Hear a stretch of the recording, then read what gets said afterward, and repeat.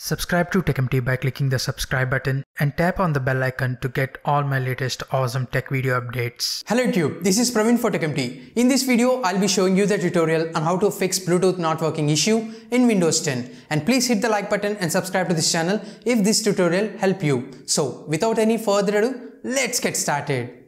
Starting from the scratch, right click on the left bottom of the console to open the run dialog box. Type in services.msc to open the running services list. In here, check for Bluetooth support service.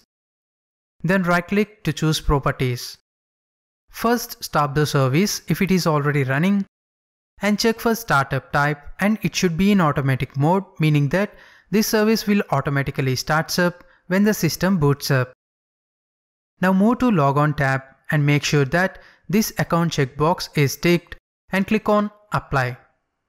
Come back to the General tab and start the service. Then click OK. Now you need to download the compatible software from official sources. If you already have the latest version of right software, then install it. If it doesn't solve the issue, try this method of getting right version of Bluetooth software.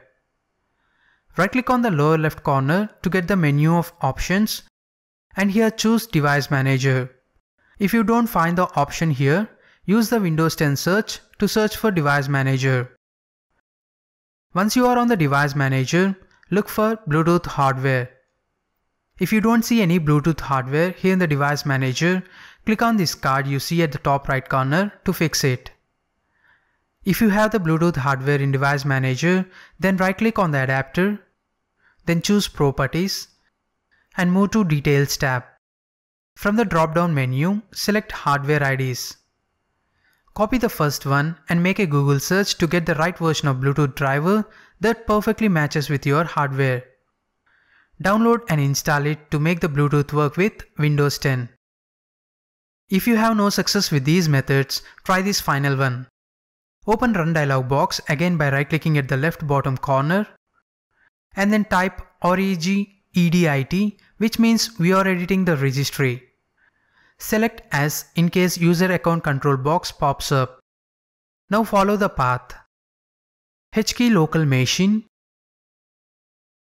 then software, then Microsoft, then Windows NT, then current version.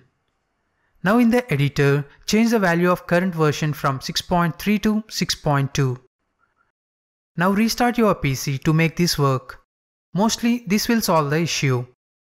That's it for this quick video. I hope you find this video useful. If you do, please hit the like button and consider sharing this video with your friends. Also, don't forget to subscribe to this channel for more awesome videos like these. Your contribution is more to us. This is Praveen signing off. Hope to see you in my next video. Thank you.